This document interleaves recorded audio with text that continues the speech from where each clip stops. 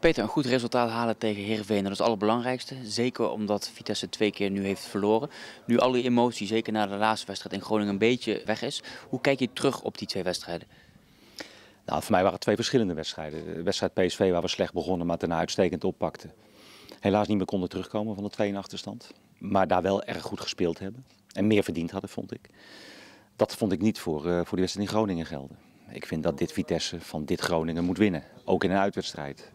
En dat is niet gebeurd omdat we slecht verdedigd hebben daar. Rosje, na twee nederlagen tegen PSV en uh, FC Groningen is het tijd voor drie punten. Ja, er wordt inderdaad wat tijd weer om, uh, om weer drie punten te pakken. Want uh, zoals u zegt, wij leven wel erg na. Maar de club ook. En vooral de supporters ook. dus we willen graag mogen drie punten pakken tegen Heerenveen. En ik denk dat we wel positieve, dat we positieve kans hebben om drie punten te pakken. Ja, nu uh, speel je morgen tegen Herenveen. Als we het toch over de verdediging hebben, dan moet je flink in puzzelen. Uh, hoe ga je dat oplossen? Uh, we gaan met, met aan de rechterkant spelen.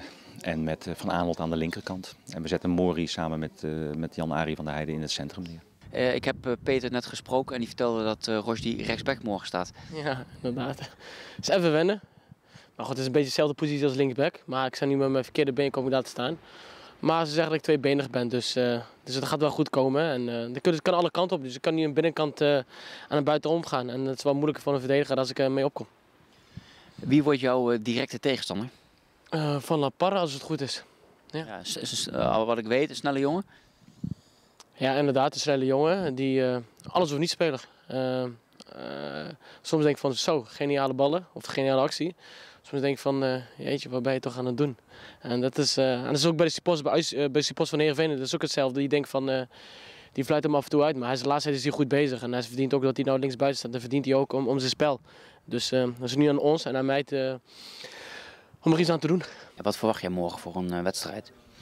Ja, bijna iedere tegenstander tegen ons die zal de ruimtes klein willen houden, terugzakken op eigen helft. En via de counter er snel proberen uit te komen. Nou, dat zijn we gewend. Daar hebben we ons uh, veel wedstrijden uitstekend tegen kunnen wapenen. Tegen Groningen dan niet. Maar ik verwacht zo'nzelfde wedstrijd weer uh, tegen Heerenveen hier thuis.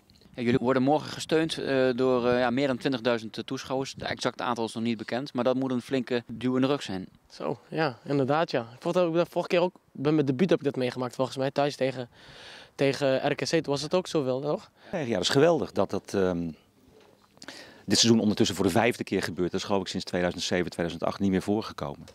En uh, nou, dat geeft in ieder geval aan dat we, dat we aan, een, uh, aan een leuk seizoen bezig zijn. Waar de mensen toch graag ook naar het stadion komen. En wellicht dat we die weg omhoog dan, uh, dan kunnen inslaan. En dat we ja, vanaf dit punt zeg maar, steeds meer toeschouwers stadion in kunnen lokken. Dus dat stemt mij tevreden. Dus ik hoop dat het, dat weer een boost geeft naar ons toe. Want hij ziet hoeveel spots hierin kunnen. En uh, als er dan morgen 23.000, misschien is het 22.000.